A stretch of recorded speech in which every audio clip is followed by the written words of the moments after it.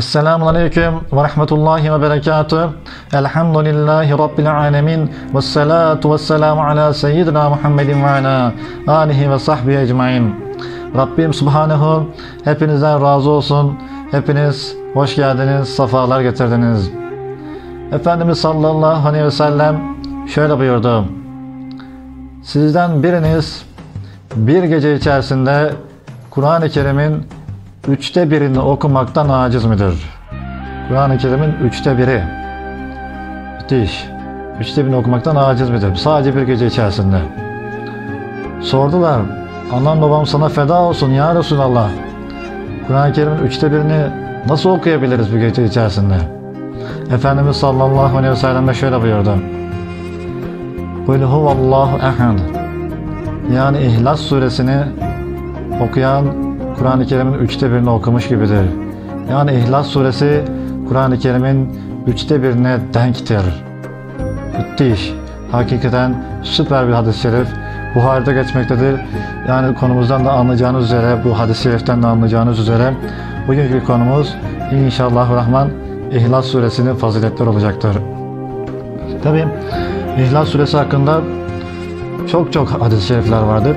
Ben en sahih hadis kaynaklarından toplamaya çalıştım. Bununla ilgili bir çalışma yaptık inşallah. Rabbim Celle Celaluhu e, feyizlenebilmeyi hepimize nasip eylesin inşallah. Yine başka bir hadis-i şerifte Efendimiz sallallahu aleyhi ve sellem bu üçte birlik denktir konusuyla ilgili şöyle buyuruyor.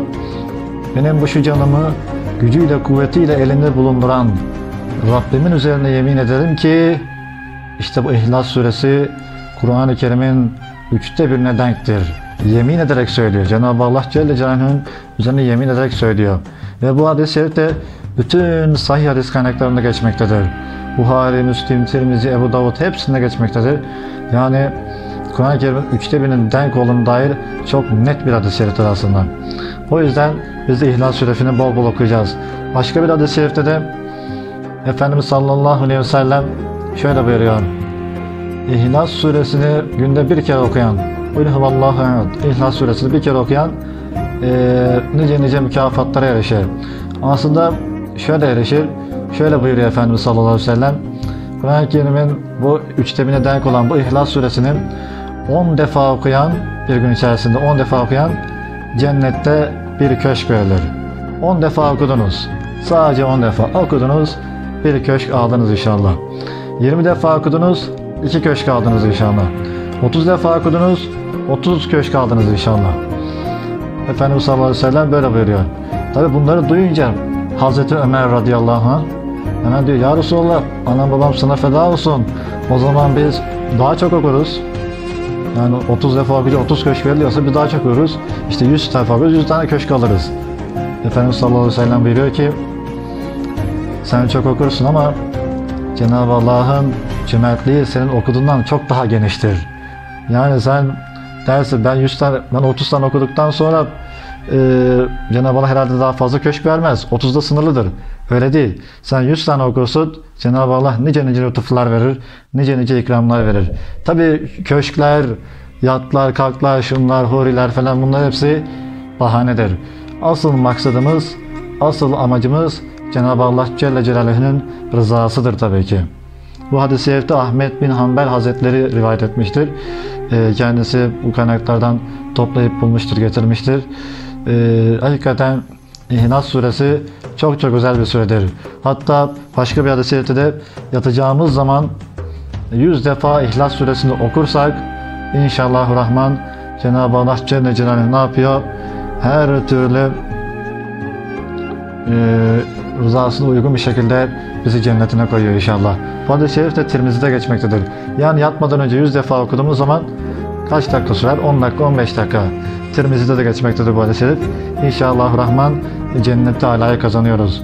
İhlas suresinin daha nice nice faziletleri var. Mesela şu anda önümdeki kaynaklardan tekrar bakıyorum. Birisine Hazreti Ayşe radıyallahu anha annemiz anlatıyor.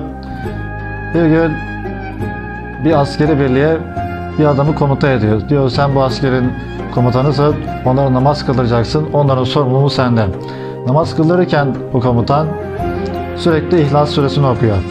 Yani muhakkak ki İhlas suresini okumadan bir e, namazı bitirmiyor. İlla ki her namazda İhlas suresini okuyor. Bu durumu Efendimiz sallallahu aleyhi ve selleme iletiyorlar dönüşte.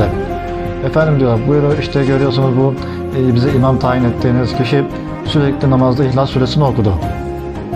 Tabi bu durumu kendisine sormasını istediler. Kendisine sorulduğunda da ben bu sureyi çok seviyorum. Çünkü Allah, Allah Celle Celaluhu'nun burada e, faziletleri, özellikleri, Cenab-ı Allah'ın ne tür sıfatları olduğu anlatılıyor. Ben bundan dolayı İhlas suresini çok seviyorum cevabını veriyor. Bunun üzerine Efendimiz de buyuruyor ki o kişiye müjdeleyin ki Allah Celle Celaluhu onu çok seviyor.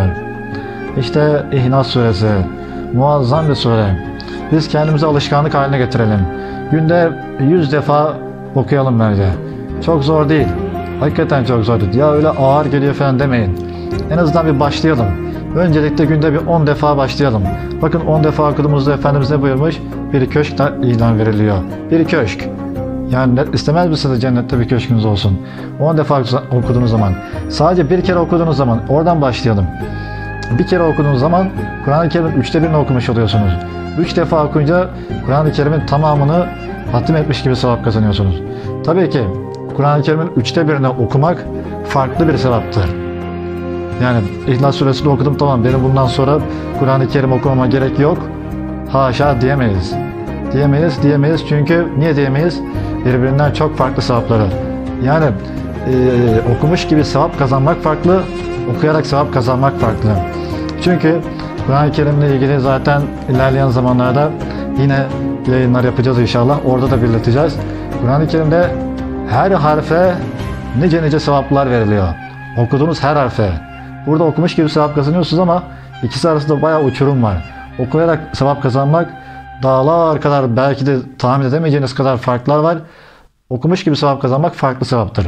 O yüzden biz İhlas Suresini okuyup inşallah bu müjdelere nail olacağız. İhlas Suresinin e, nice nice insanlar üzerinde bereketleri vardır. Başka hadis-i şeriflerde de geçer. Eve girerken İhlas Suresini okursanız üzerinizden yoksulluk, fakirlik kalkar diye çeşitli hadis kaynaklarında da geçmektedir. Yani İhlas Suresi peki e, niye zor diyoruz? Mesela günde 100 defa okuduğumuz zaman niye bize zor gelsin ki? Günde 100 defa İhlas Şerifi okusak. Bakalım hakikaten uzun mu? Uzun deniliyor mesela. Bir bakalım uzun mu? Bismillahirrahmanirrahim. Kul huvallahu ahad. Allahu samed. Lem yelid ve lem yulad ve lem yekun lehu kufuven ahad. Sadakallahul azim. Bayağı uzunmuş. Eh, Hiç de uzun değil. O yüzden eee, ne yapacağız? İhlas suresini bol bol okuyacağız. Peki İhlas suresi niye bu kadar muazzam faziletleri var? Bu kadar kısa. Bu kadar çok kısa bir şey bu kadar nasıl oluyor da faziletleri yüksek oluyor? Çünkü manası çok daha büyük. Manası bu verilen faziletlerinden tartışılamayacak kadar çok daha büyük. Ne diyor İhlas suresinde? Bismillahirrahmanirrahim. Ve huvallahu ehad. De ki Allah Celle Celaluhu birdir, tektir. Yani burada Cenab-ı Allah'ın tek olduğunu açık, net bir şekilde belirtiyor. Allahu samed. Ve huvallahu ehad. Allahu samed. Allah samettir. Nedir samet? Samet demek her şey kendisine muhtaç olan ama hiçbir şeyin ona onun hiçbir şeye muhtaç olmadığı demektir. Yani hiçbir şey o hiçbir şeye muhtaç değildir ama her şey ona muhtaçtır demek. Samet ismi hakikaten önümüzdeki zamanlarda bu ismi şerifi de Es-Samed ismi şerefini de inşallah işleyeceğiz ilerleyen zamanlarda. O zaman bu, bu sözü bu Cenab-ı Allah'ın isimlerinden zaten Es-Samed ismi. Onu daha net anlatacağız inşallah ama hakikaten Cenab-ı Allah hiçbir şeye muhtaç değildir ama her şey ona muhtaçtır. Yani burada Cenab-ı Allah'ın net bir özelliği ifade edilmiş. Allahu samet eleyk. Lem yenit ve lem yuled. O doğmamıştır ve doğrulmamıştır. Çok net bir şekilde. Ve lem yekul lehu kufuven ahad. Hiçbir şey de ona denk değildir. Hiçbir şey ona denk olmadı. Olamaz zaten. Zaten her şey onun yarattıklarıyla tecelli etti. Bu vücudumuz, bu gözlerimiz, kulaklarımız, her şeyimiz Her şeyimizi yaratan, her şeyin sahibi Allah Celle Celaluhu'dur. Rabbim Celle Celaluhu İhlas suresinin e, bu muhteşem faziletlerini en güzel şekilde hayatımıza nakşedebilmeyi nasip eylesin. Artık bugün itibaren İhlas suresini dilimizden düşürmeyelim inşallah. Aklımıza geldikçe, e, aklımıza daha doğrusu getirelim. Aklımıza yerleştirelim. Örneğin mesela eve geldik, hemen bir İhlas suresi okuyup öyle girelim. Bakın ne kadar huzur dolu olacaksınız. E, Nas suresi zaten dilimizden düşürmezsek inşallah zamanla kalbimize de girecektir.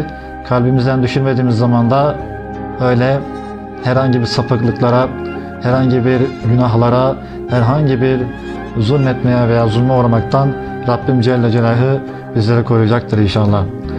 Rabbim Subhanehu İhlas suresinin e, bu feyzini hepimizin üzerine nail eylesin inşallah. İhlas suresini e, burada tabii ki anlatmakta bitiremeyiz. Dediğim gibi ben sadece birkaç tane de hadis-i söyledim.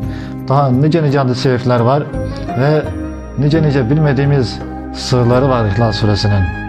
Yani biz sadece aklımızda nacizane gördüğümüz kadarıyla e, yapmaya çalışıyoruz, söylemeye çalışıyoruz Efendimiz sallallahu aleyhi ve sellem'in sözlerini. Yoksa bizim anlattıklarımız İhlas suresinin faziletlerinin yanında bir toz dahi kalamaz. Öylesine muhteşem bir sure İhlas suresi. Ee, Rabbim Celle Celaluhu bu sureyi, bu kısacık sureyi okuyabilmeyi nasip etsin. Niye söylüyoruz? Çünkü e, her şeye vakit ayırıyoruz. Her şeye zaman ayırıyoruz. İhlas suresine çok uzun demeyelim. Kur'an-ı Kerim'in en kısa surelerinden biri. Bakın ne yapıyoruz? Galatasaray Fenerbahçe maçı olduğu zaman ne yapıyoruz? Bir hafta önceden hazırlanıyoruz değil mi? Ülke olarak bir hafta önceden hazırlıklar başlıyor. Bir derbi maçı olduğu zaman, bir büyük maç bir şey olduğu zaman ülke olarak ne yapıyoruz? Bir hafta önceden bütün hazırlıklar başlıyor. Ne diyorlar? Nefesler tutuldu, kalpler duracak gibi başlıklar atılıyor değil mi? Doğru, atılıyor. Bu maçları takip bir hafta boyunca hazırlanıyoruz. Ondan sonra maçın başına oturuyoruz. 90 dakika ne yapıyoruz 90 dakika boyunca?